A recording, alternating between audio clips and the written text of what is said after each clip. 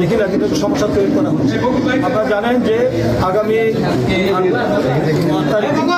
তারিখে আমাদের এপ্রিল আমাদের কেন্দ্রীয় কর্মসূচির অংশ হিসাবে কেন্দ্রীয় কর্মসূচির অংশ হিসাবে আমাদের আগামী আট তারিখে সারা দেশব্যাপী জেলা উপজেলা পর্যায়ে আমাদের এই অবস্থান কর্মসূচি আছে। সেই অবস্থান কর্মসূচি এবং ইফতার পার্টি দলীয় মানে সাংগঠনিক আলোচনার জন্য আজকে জরুরি সভা আহ্বান করা হয়েছে জেলা বিএনপি আমি জেলা বিএনপির আহ্বায়ক হিসাবে জেলা বিএনপির সদস্য সচিব জনাব বদিরুল আলমীর সাথে কথা বলে সেই তারিখ নির্ধারণ করে আমাদের দপ্তর সম্পাদক সবাইকে আজকে বলা হয়েছে। আগামী সময় বা আমাদের আজকে এই জেলা বিএনপির গুরুত্বপূর্ণ যে সভাটা আলোচনা সেই আলোচনায় আমরা বসছি। আলোচনা চলছে জেলা আমাদের সভা।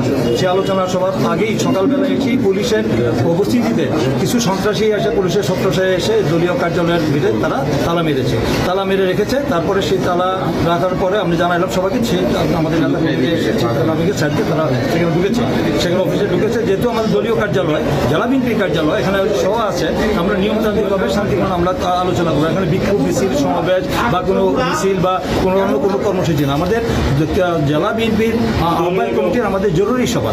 সেই সভায় আমরা আমাদের আগামী এই দিনের আন্দোলনের কর্মসূচি বা আমাদের দলীয় কর্মকাণ্ড, আমাদের পরিচালিত কীভাবে সেই বিষয়ে নিয়ে আমরা আলোচনা করব।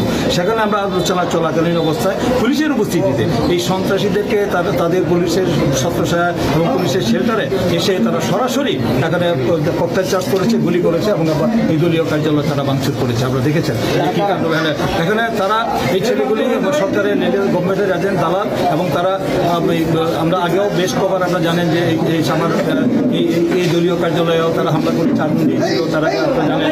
তারা এটা করেছে, তারপরে অতীতে আরও ঘটনা ঘটছে। অতীতে তারপরে আপনারা দেখেছেন যে আমি যখন আমাদের বীর মুক্তিযোদ্ধা, আমাদের রায়পুরা উপজেলা বিএনপির দেখেছেন আপনারা যারা সাংবাদিক এখানে ছিলেন আপনাদের উপস্থিতিতে তারা ঘটনা করতেছে- আপনারা ছবি আছে ছবি দেখেছেন ফুটেজ দেখেছেন ফুটেজ দেখে তাদের তাদের বিরুদ্ধে আইনানুগ ব্যবস্থা নিবে না যেখানে প্রশাসন তাদেরকে শেল্টার দিচ্ছে তারা আশ্রয় ভাই তারা তো দাবি করতেছে তারা পদবঞ্চিত নেতা না পদবঞ্চিত সেটা আমরা পদবঞ্চিত নেতার দায়িত্ব সেটা আমাদের না সেটা হলো কেন্দ্রের দায়িত্ব। কেন্দ্রে তাদেরকে যাদেরকে দল থেকে যাদের বঞ্চিত করেছে বা করেছে এটা কেন্দ্রে বুঝবে সেটার জন্য তো আমাদের জেলা বিএনপি দায়ী না। জেলা বিএনপির কোনো সুপারিশ বা যার সই স্বাক্ষরে প্রেসিডেন্ট সেক্রেটারি সই স্বাক্ষরে সেই কমিটি অনুমোদন হয় নাই, সেটা দলের একটি চেয়ারম্যান আমরা আগামী দিনে রাষ্ট্রনায়ক তারেক মানে সরাসরি নির্দেশে উনি সাংবিধানিক দায়িত্বে আছেন।